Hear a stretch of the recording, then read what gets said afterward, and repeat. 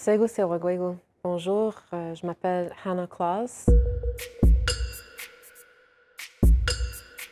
Je suis artiste euh, qui travaille surtout en installation, euh, artiste Kanikarhaga et anglaise. J'habite à Montréal et je suis membre de Nega, qui est une communauté Kanikarhaga en Ontario, près de Belleville.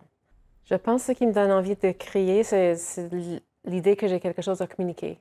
Je crois que l'art est vraiment, une, comme j'ai dit, une moyen de communiquer.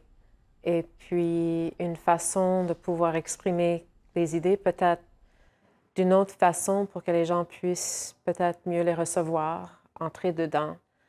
L'environnement influence mon travail. Je dirais pour ces œuvres-ci, c'est surtout que je ne vois pas le résultat final jusqu'à ce que ce soit monté en, salle. C'est trop grand. Alors, on travaille, c'est un ensemble de, panneaux. On peut les voir ici par terre derrière moi. C'est vraiment divisé en sections.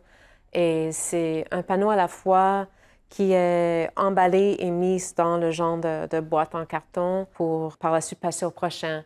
Alors, c'était la première fois que j'adoptais ça comme méthode.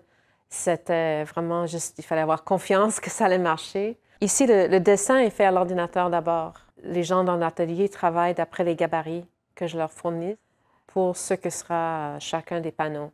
Hum, alors, je vois déjà ce que ça va être. C'est pas une surprise pour moi. C'est juste de bien suivre les étapes pour arriver au bon résultat.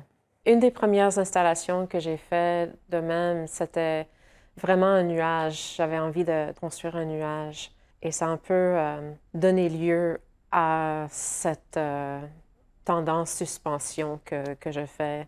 C'est assez magique quand on le voit. Je pense que ce qui m'intéresse vraiment avec l'installation, c'est la possibilité de, transformer un espace.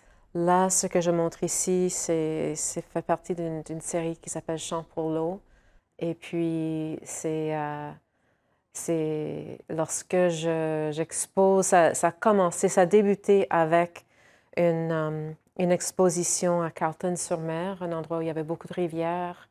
Et je pensais, bon, qu'est-ce que moi, en tant que Garaga, que je peux apporter ici, dans ce territoire qui n'est pas le mien? Et puis, euh, j'ai fait un lien avec les rivières, qui sont un, un ancien moyen de connexion entre les communautés c'est aussi très signifiant pour les ceintures wampum. Les ceintures wampum sont, représentent des accords entre les nations. Alors, en tout cas, pour différentes raisons, ça me semblait euh, quelque chose que je voulais développer plus. Chaque rivière est différente, chaque champ est différent. Alors là, c'est, je pense, le quatrième ou cinquième que je fais et c'est pour le fleuve Saint-Laurent. Alors, c'est une idée qui, qui, continue comme ça. Je peux voir qu'il y en aura d'autres euh, qui continuent de même.